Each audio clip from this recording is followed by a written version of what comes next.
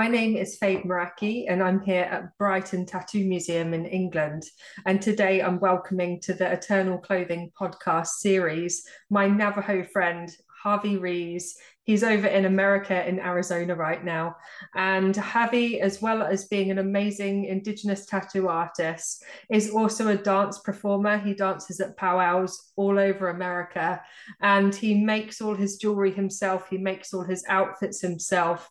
And I was really fortunate to meet him at the North Arizona Tattoo Convention this summer. And Javi was performing Native American dance and tattooing there and selling some of his handcraft items.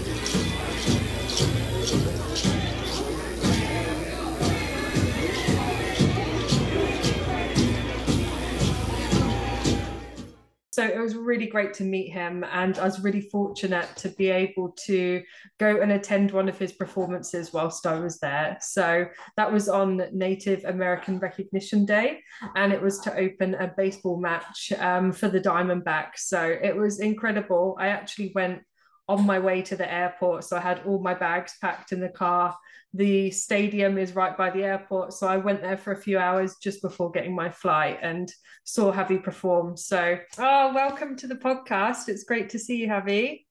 Thank you very much. I appreciate the invitation to uh, the podcast for sure. Yeah, it's really great to see you again. It was so cool to meet in America this year. Um, yeah, I loved seeing your performance and meeting you in the convention. It was a really good time.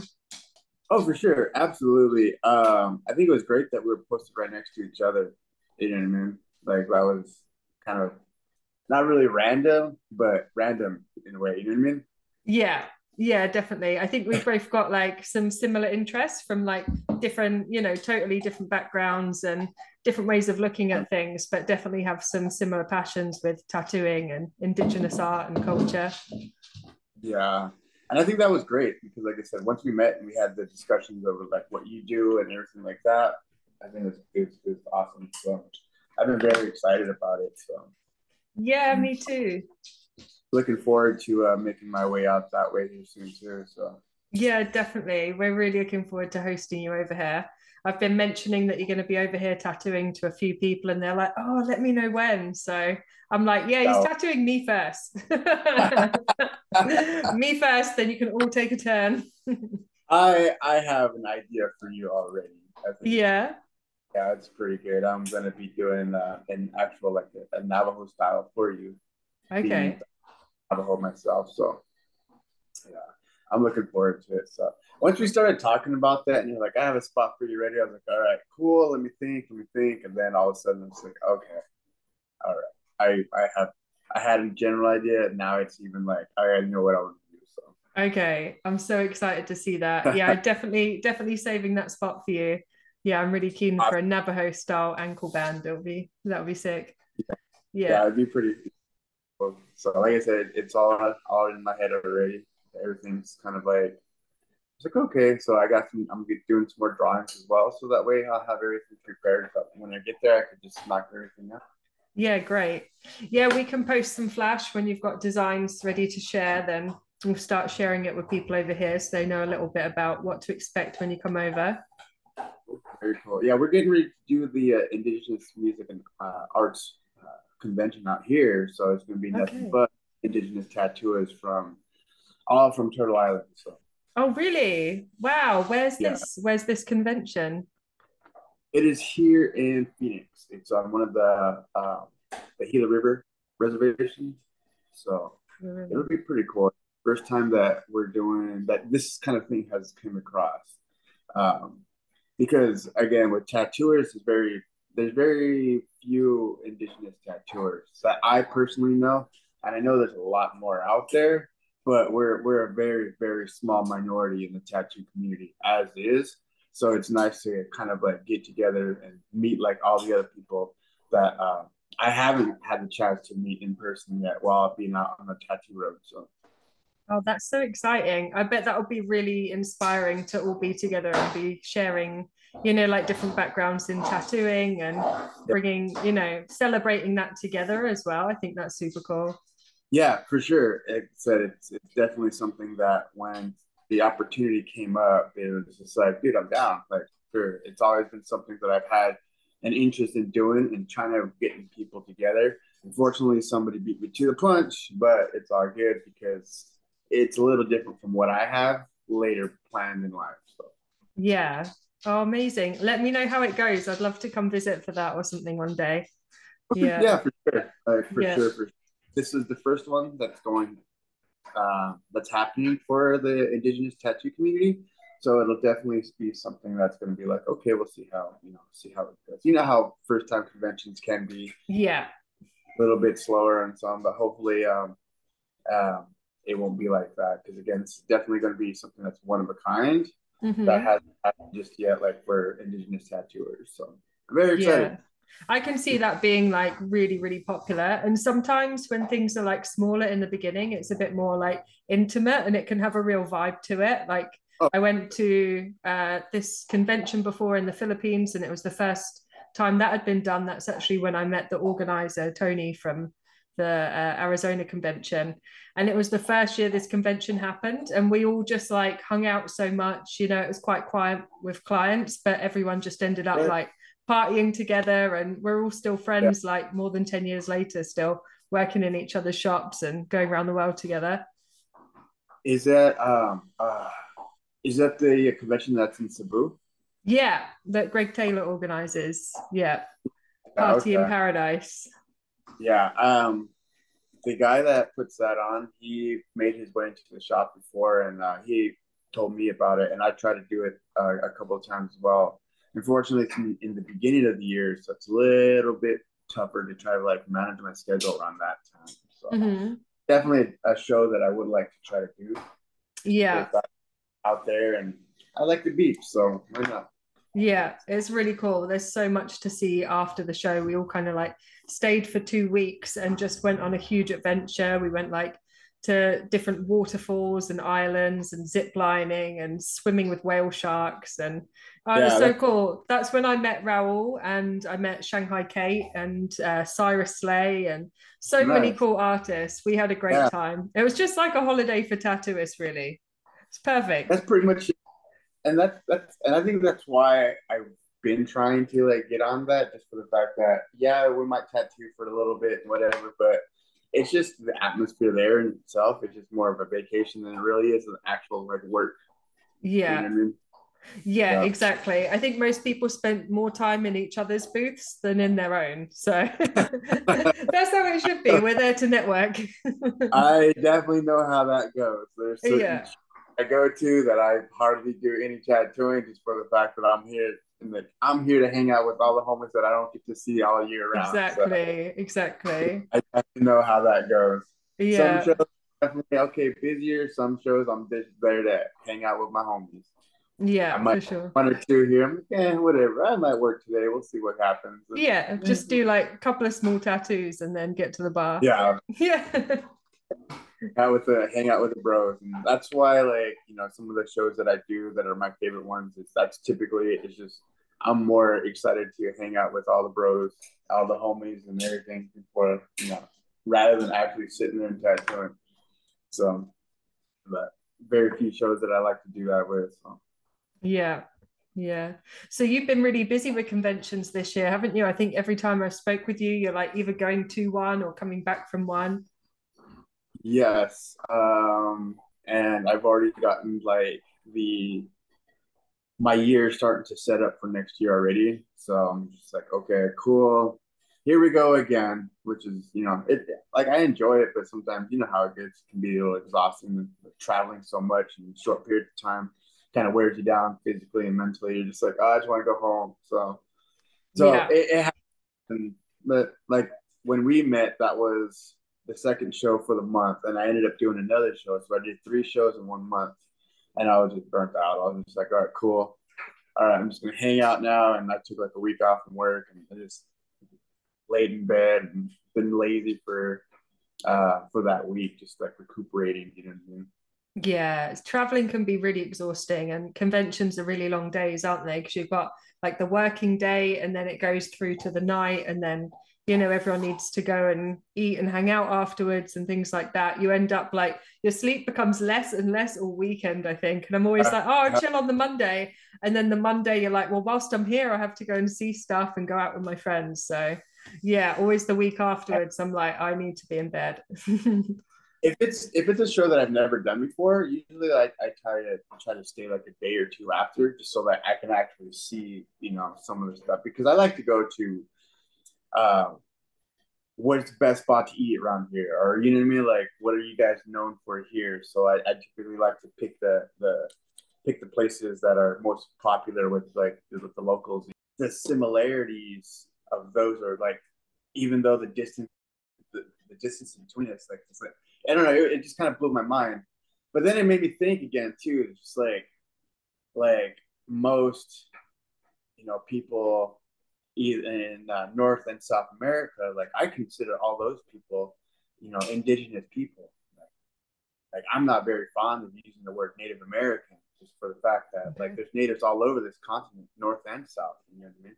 We have tribes all over, uh, from Canada to to uh, South America, and that's what I think makes it even better is because again, like those are the similarities that we should be focusing on Mm. Those are the things that like we, you know, before all the separation and all this, like there we do have similar ties in with each other. Just because we're we're not from the same area, like there are similar things that we do. Like people, different tribes and have uh, even north and south, different tribes have different versions of what they do at certain points of their lives. yeah, I think it may not be the exact same with with it, but there's there's some similarities to it, you know. Yeah, definitely. I think people's like similarities and differences should be celebrated as well. I think it's really nice right. to have those exchanges. Like it's it's what makes life inter- interesting and like the diversity of humanity. I think it's super interesting. Yeah, we tell them my first two, which is uh, I come from uh, the Bitterwater people, and then my dad, which is my mom's. My, uh, that's my first clan. Is that is Turutini which is the Bitterwater people, and then Nakai Dene is uh, of Mexican people. So that's my dad's side. So I typically introduce myself that way, so that way they know that I'm half and half. So the clan system that we have, that's how we also know who our extended families are. And it's a it's a little difficult to explain how, how that stuff works because there's a lot of different factors that go into it. And for me, I still haven't got it all down to because again, like I wasn't brought up in a very traditional way. So uh, the little I know is just often like the littles that I've, I've gathered throughout, you know, just meeting new people and talking to some of the elders and stuff like that. But yeah, it's interesting, like just how we as Diné people have that whole, like the whole family thing. Yeah. It's, it's That's really nice, isn't it? To like have that sort of you know your people and for people to be able to trace their ancestors that way as well. I know some navajo. Unfortunately i don't know how to speak it fluently. And um, uh, that was just something that was never taught to me. It's something that i am trying to work on as right now just so that way i can i can speak it and i, I would like to keep that going for myself and i you know pass that down as well because again there's a lot of stuff that's going on which is with everybody just you know traditions are being lost because they're not being practiced or passed down the way they used to be. Uh, and I, that's just you know modern times coming changing yeah. different way like so. Yeah a lot, a lot can be lost with a language as well. There's a lot of culture within a language I, i'm aware oh, of sure. I know for you guys, obviously, you lost a lot with the colonial times as well. So it's important to hold on oh. to the traditions uh, and the knowledge, and yeah, it's so special. Yeah, there's. I mean, that's that's a whole thing in itself as well. You know, like me personally, I think that's that's just very unfortunate. You know what I mean? For for so all all indigenous people that we've had to to through that. You know, our ancestors had to go through that, and um, it's yeah, it's it's very heartbreaking. But again, we're still here. You know what I mean? We're still we're still thriving. But you know, it's going to take a lot for that for us to to be to be driven out because we're still here. We you know could have easily just gave up and whatever. And, you know, a lot of people, and there's people now that are still fighting to keep those those traditions and those things alive. So yeah, that's why we're still here. Like we are still here. So. It's an important fight as well, isn't it? I think it's great to have that voice be heard that you are still here and you know to share those traditions and and have your communities and all of that speak the language it's been great seeing your traditional dancing as well. You said that you express a lot of your culture and you know your feelings through your dance and i can really see that come through when when i saw you perform. It was so cool. Yeah. Yeah it i i like to be out there. I like to i, I just it's it's different when you when i'm in that yeah you do your traditional dancing and i saw you made like your whole outfit yourself um, that was awesome. Can you tell me a bit about your, you know, your craft and jewelry making with that? Most of the stuff that I've done is majority of the time in my outfit or my regalia is the beadwork. I do do a lot of feather work, um, but my beadwork definitely was the most time consuming thing on there. And uh, that kind of stuff was uh, taught to me. I learned that from a good friend of mine and he showed me how to do that. So once I started making my own stuff, it made it easier for me to really like not re- not have to rely on people to help me because sometimes things do break and I need a quick fix in between songs or I need a quick fix in between certain um, certain sessions.